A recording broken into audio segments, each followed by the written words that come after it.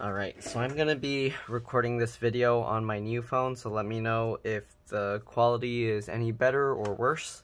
Um, so first, um, anyways, uh, this model, let's see, is there a model? Okay, so I'm going to be showing how to open up and disassemble this HP Model 17-AK014CY. So this model has um, some hidden screws. But anyways, first thing you want to do is remove the um, battery, of course. So to remove the battery, what you do is you just slide the two, these two tabs inwards, right? When you do that, the battery's a little tricky. You have to kind of lift it up slightly and pull it back. So just slide it out just like that.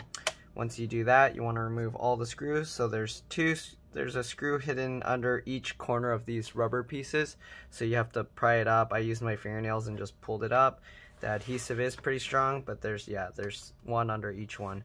So the amount of screws there's one two three four five six seven eight nine ten eleven. I don't think there's a screw under here so I'm not gonna pop that open. I've been working a lot of HPs and they've been putting these little plastic covers that don't really cover anything. But anyways, to remove the CD drive, after you remove this one screw, um, you'll have to flip the laptop over because it gets caught, and then you just um, pull underneath the this bezel area, okay? Alright, now you got the CD drive out. So, after you got all the screws out and you got the CD drive out, just open the screen up. And then what you do is you get your fingernails in or your pry tool me see if I can show this. So your fingernails or your pry tool into the area here, and then I push on the back. So what I do is I use my fingernails in the area here, and then I push um, on the back to pry this cover out, okay? Just like this. Hopefully you'll be able to see. Okay, just like that. And if this video doesn't come out good with this camera, um, then I can, it should be okay because, or if it doesn't really matter, I can use my old phone as a dedicated recording for this. And then, yeah. But if it turns out to be a lot better, then um, i guess I'm going to have to switch to using my new phone for recording which makes it a little tough because then I get customers calling and stuff and I can't take the calls. Um, but anyways, as you can see, the cover's all coming up just like that. Just lift it, wiggle it around.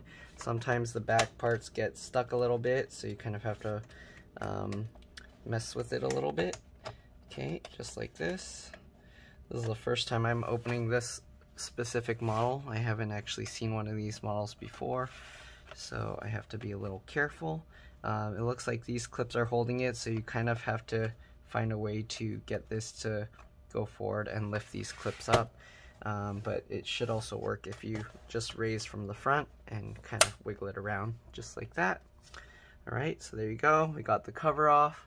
This one was um, acting super slow, um, and from after using it, it seemed like it was a hard drive issue, so we're replacing the hard drive. So anyways, um, once you replace or remove the battery, um, I guess before you remove the cover, um, you can remove the battery before you remove the cover and before you remove the screws. And then to be safe, it's always good to hold the power button for 15 seconds or so after you've removed the battery. Um, I'm just changing the hard drive out, so I kind of don't really need to worry about that so much but the main reason is the LCD connector usually, sorry, carries enough voltage that it can short out the, um, the board and then the backlight won't work. Um, so anyways, inside this computer you'll see there's this board for the USB port with the two LEDs and then you got this connector so it's it can be removed separately. So the hard drive is trapped underneath there so you will have to um, flip this tab and pull this cable out to get to the hard drive. So we'll do that. I'm going to leave this one attached. Um, the hard drive has these little rubber pieces that are holding the hard drive in place. So you need to pull those rubber pieces out just like this. Okay, so grab that. Hopefully you can see what I'm doing. Um, pull that up. Alright, just like that. Once you get those two rubber pieces out, you should be able to pull this back. This thing is very stretchy, so actually I wouldn't use that to pull it. I'd actually pull the physical hard drive itself because it looks like, I don't think you can pull it with this rubber piece. Yeah, so what I'll do is I'll switch to a, you can use anything that will fit in the screw hole. Um, I'll use a screwdriver, I think this T8, yeah it fits perfectly. So use a T8 and then I'll use that to kind of put it in the, the mount screw mount hole that is no longer, that isn't being used.